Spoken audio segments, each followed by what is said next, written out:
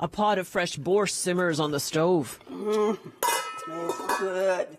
The atmosphere in Karolina Ribka's apartment is a stark contrast to the decades-old memories that remain vivid in her mind.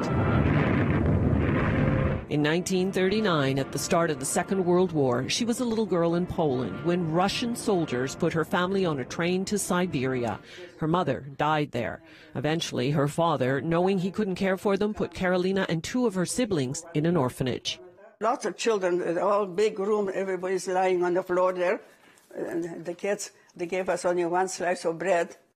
Life was bleak until an Indian Maharaja came to the rescue.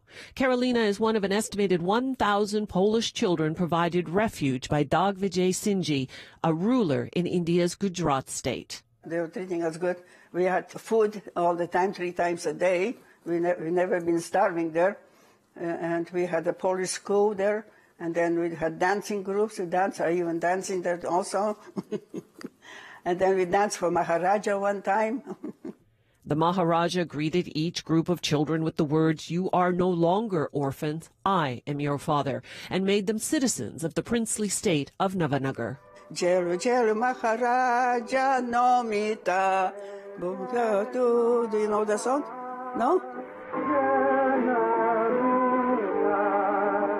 The Maharaja built dorms for the children, provided them with food, clothes, and medical care, and brought in Polish teachers for their education. He was a very unusual personality. His mindset which helped to say that, look, here is a good cause, a worthy cause, something I should be doing. And in fact, he went ahead and did it. And they were there for a long time and they were looked after so beautifully. Digvijay never asked for any compensation for his grand gesture.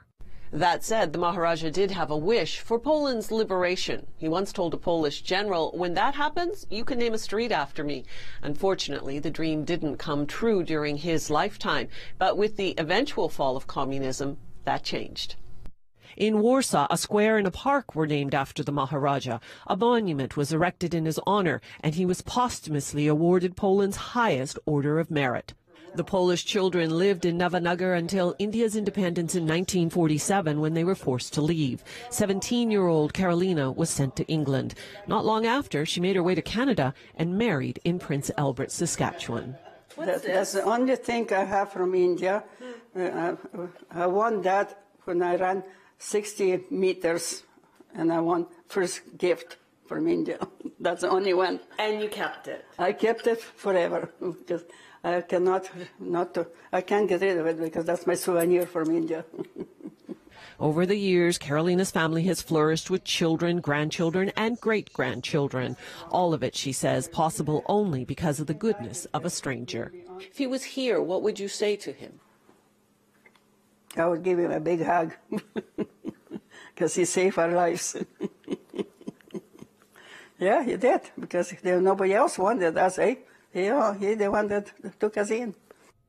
Belle Puri, CBC News, Kelowna.